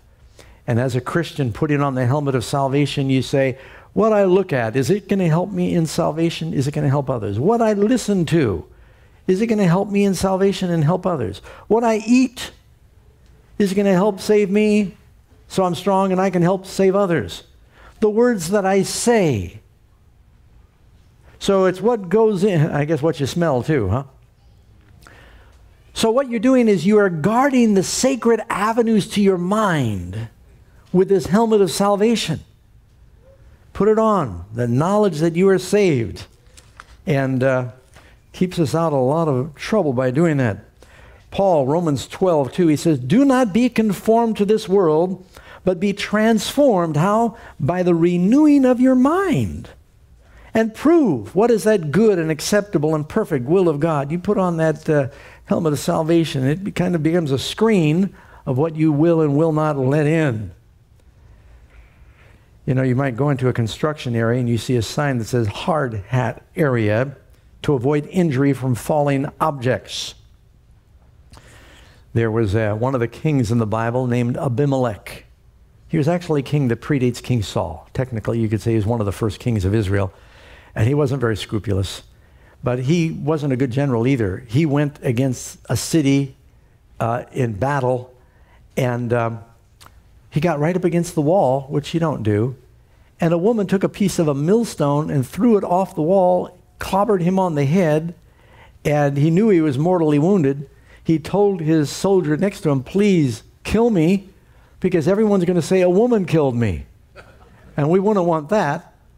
So his soldier killed him, but everybody still says a woman killed him. See, I just repeated it.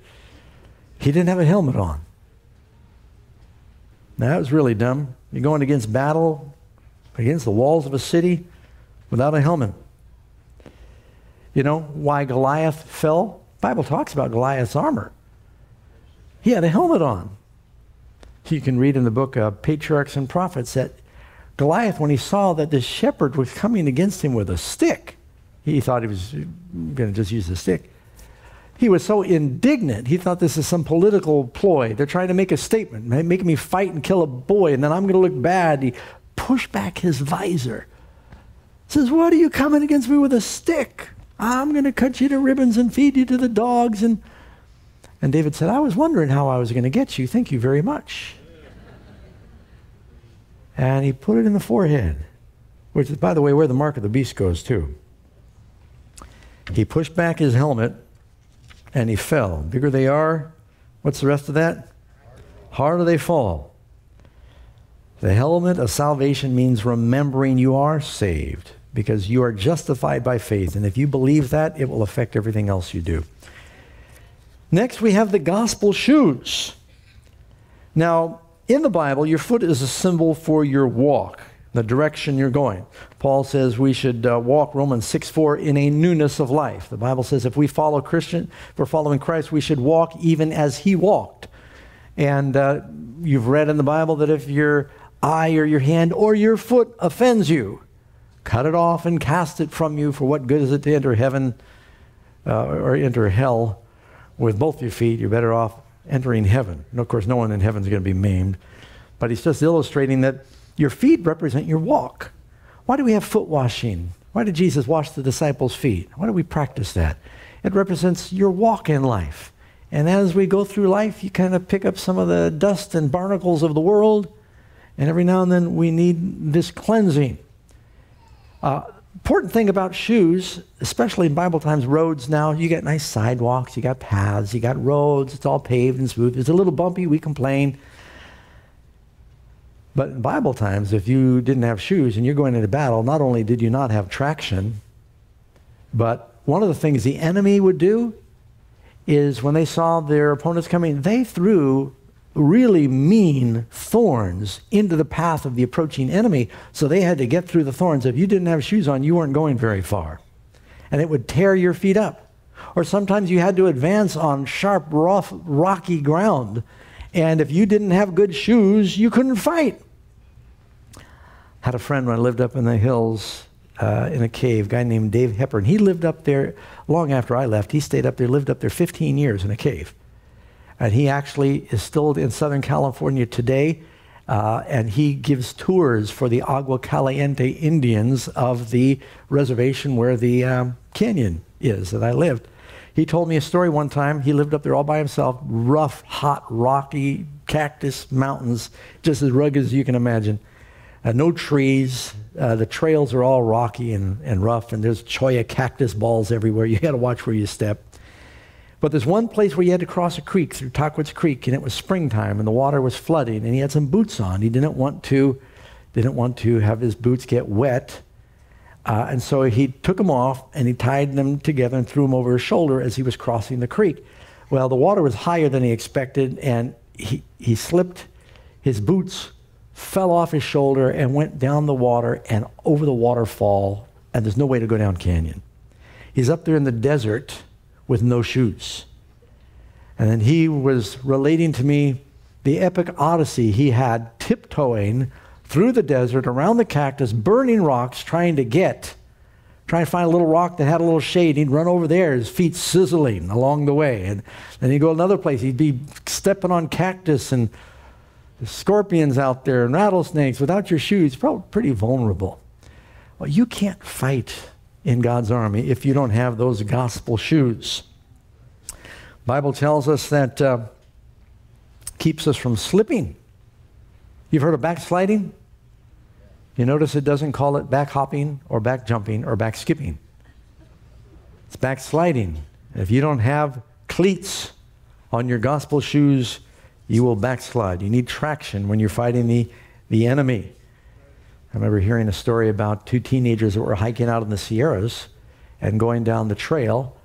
They suddenly found themselves looking up at a cougar that was getting ready to pounce and it was twitching its tail. And one of the boys very calmly took his backpack off his back while he didn't take his eyes off the cougar, started to put on his tennis shoes. And his brother said, What are you doing? You can't outrun a cougar. He said, I don't plan on it. I just have to outrun you. So you need to have good shoes on. You needed something in there to lighten it up a little bit. Then you have the sword of the Spirit, which is the Word of God. This is uh, repeated over and over through the Bible. Not only in Ephesians does he say that sword represents the Word of God. You can look in Hebrews chapter 4, verse 12. For the Word of God is living and powerful and sharper than any two edged sword, frequently called a two edged sword piercing even to the division of soul and spirit and the joints and marrow. It is a discerner of the thoughts and the intents of the heart. Christ came, said, I came not to send peace, but what? A sword. sword of his word. Now, some people think that God really wants us to pick up physical swords and fight with them. And one time, Jesus was speaking in parables, and he said, and now I tell you that uh, get your garment. When I sent you out, you didn't have anything, and, and sell what you have and get a sword. And they said, Oh, Lord, we've got two swords. And then Jesus makes a statement. He says, Enough of this. So they thought that meant two swords is enough. That's not what he meant. He meant enough of this. You're not getting it. It's kind of like when they were crossing the ocean and he said, Beware of the leaven of the Pharisees. They said, Beware of the leaven. What, did we forget lunch again? Just totally missed the spirit. Jesus said, The words that I speak to you, they are spirit and life. And so when Jesus said, He that doesn't have a sword, get one, he's talking about the Word of God. You got to be grounded in the Word of God. You needed to be familiar with the Word of God so that you could use it. You know, I, um, I play racquetball, and uh, Pastor Ross plays too. So if you're going to give me a lecture on competitive sports, talk to him and he'll tell me. And when we're playing, we have a string you always put around your hand when you're playing because if you swing and you lose your grip, you could clobber someone and really hurt them. And uh, several times I've seen where people forgot to put their string on or they just neglected to put it on. They went and swung and their grip wasn't strong enough and the racket went flying across the court. And fortunately, nobody was hurt. Well, that used to happen in battle. These people get out there, if their hands were weak and they weren't trained and skilled, they go swing their sword and go flying through the air. You could hurt your own man. So you need to be familiar with it. You know, the best way to remember Scripture is share it with someone else. Uh, people say, Pastor Doug, how do you remember so much Scripture? My memory is not that wonderful. I just have been sharing it so often in evangelistic meetings. There's certain texts that I just remember after a while. It's like you remember the words to certain songs that you probably shouldn't know. Revelation 1:16. He had in his right hand seven stars, and out of his mouth went a sharp two-edged sword all through the Bible. You can see where they had these swords. And now the Roman sword, they had a couple swords, and I can't remember the Greek words, but they had one sword that was a big two-handed sword, like this one here. And then, but the typical Roman sword was a one-handed sword that was it was a little bigger than maybe a machete, double-edged though. They used them in close quarter combat. They used it for everything. Not only use it in battles, they, and they kept it sharp. They might use it to start their campfire, cut their food, but it was just constantly ever present Every Roman soldier had one of those girded in his belt. You have the sword of God's word girded in the belt of truth. It's one thing to have a Bible, but if you don't know the truth or you're twisting it, the two need to go together. And why does it say two edged sword? You can slide to the right, you can slice to the left. It's not only a defensive weapon when you're blocking, it was an offensive weapon. So we use the sword on ourselves to guide our lives but we use the sword to conquer for Christ in sharing the truth. And so it's something used both ways. Typically, the two blades are thought of as the law and the prophets. Ten commandments were on two stones. You got the commandments of God and the testimony of Jesus. You call it Moses and Elijah. Revelation chapter 11, you've got the two witnesses. It's talking about the two edges of the sword. Some people say the New and the Old Testament, but there's always this dual nature to the Word of God that you find uh, throughout Scripture. And it should be ever present in the life of the Christian. The sword of the Spirit. Now, the word here, when it says the Word of God, it's not the word typically you find logos, it's the word rhema. Rhema doesn't mean just a word, it means a word that is spoken or narrated. Meaning, this word of God used in connection with the sword here is sharing narrating it, giving it, quoting it. And another aspect of the sword is something you want to continue to use lest it become rusty. A sword is kept clean by use, and it's kept sharp by a stone. You sharpen it on the rock of ages. Amen? As we study the Bible with others, uh, people will be transformed. A quote I'd like to share, and I'm almost done here. Satan well knew that the Holy Scriptures would enable men to discern his deceptions and withstand his power. It was by the word that even the Savior of the world resisted his attack. At every assault, Christ presented the shield of the eternal truth, saying, It is written, To every suggestion of the adversary, he opposed the wisdom and power of the devil with the word. In order for Satan to maintain his sway over men and establish his authority, he must keep them in ignorance of the scriptures. The Bible will keep you from sin, or sin will keep you from the Bible. So we need the Word of God. And then finally, you have prayer. We talked about this a little bit last week, but Paul said, watching with all prayer. Luke 12, 37. Blessed, Jesus said, are those servants whom his master, when he comes, will find watching. Assuredly, I say to you, he will gird them and uh, sit down and eat with them and serve them. And if he should come in the second watch or come in the third watch and find them so, blessed are those servants. You know, soldiers used to have to stay on watch. And if you went to sleep on your watch, you know what the penalty was? Death. That sounds pretty serious. When they were able to tell Pilate, yeah, they stole the body because the soldiers went to sleep, those soldiers that agreed to that were paid very well because they said, don't worry, we'll protect you We'll protect you with Herod. They, He's, well, say, let's just see with the garden, a dead body. You can't kill the guys for that. Who, who would have thunk that he would be resurrected and, and leave? Watchmen had to stay awake. Blessed are those servants. But know this that if the master of the house had known what hour the thief would come, he would have watched and not allow his house to be broken into. 1 Peter 4 7, but the end of all things is at hand. Therefore, be serious and watchful in your prayer. So now, if you have any doubt, what does it mean about watching? Jesus said, Watch and pray lest you enter into temptation. Be watchful in your prayers. Oh, is watching something you do once, like saluting? Or is watching an attitude? It's ongoing. Watching in prayer. Soldiers need to be on their guard because the most important element in a battle is what? Surprise. The enemy wants to surprise you. The reason Hitler was able to so quickly take over large sections of Europe is he did something called the Blitzkrieg. Anyone speak German? It means a quick war, something to that effect, right? A rapid war. And it was the Blitz, and the devil uses that. Each, before you know what's going on, you're on the ground. And uh, in order for that not to happen, you need to be watching. You watch and pray that we can be awake. So, this is all a package deal. We are to stand wearing all of the armor. We're to stand firm. Truth, righteousness, faith, salvation, gospel, word, and prayer. All of those things describe Christian character. So when you're talking about the armor of God, it encompasses us, um, our whole lives being involved. So, where do you buy your armor? Um, what store do you go to?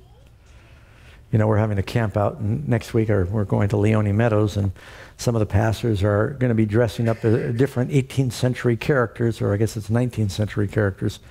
Um, I'm trying to find Joseph Bates clothing somewhere online. I tell you, I'm having a really hard time with that. So, where do you find armor? Well, you know, someone's provided it for us. One of the most tender stories in the Bible is that of David and Jonathan. It tells us that um, when Jonathan saw David kill Goliath and he saw the courage of this young man, I think Jonathan offered to kill Goliath and, and Saul would not allow the crown prince to go against him. And David saw the courage. He was so inspired, and they talked a little bit, and it says their souls were knit together. They had become good friends. A little amazing fact, trivia.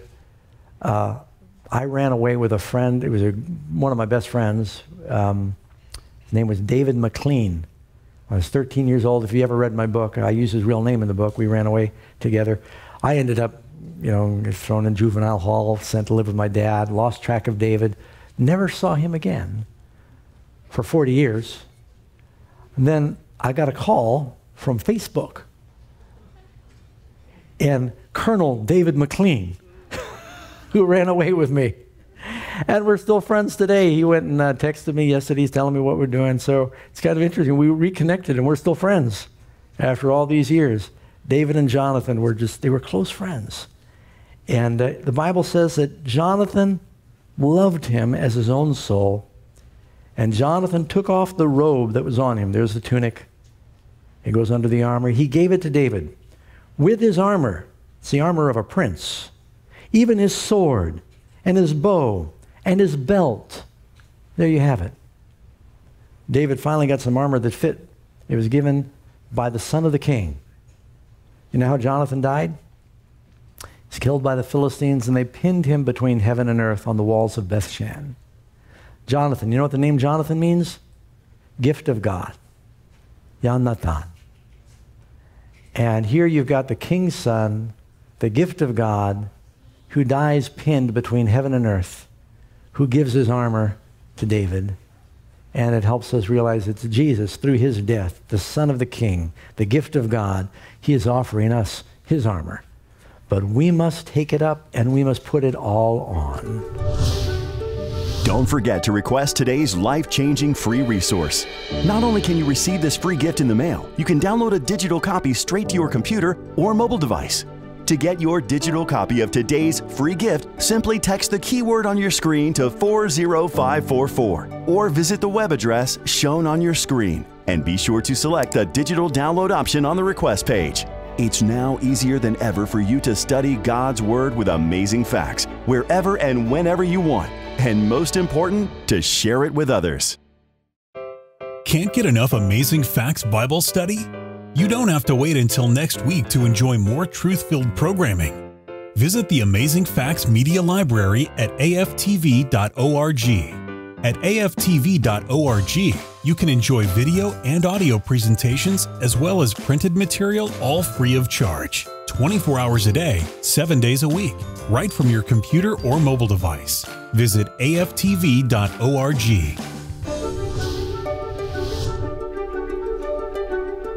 Don't forget to request today's free offer. It's sure to be a blessing.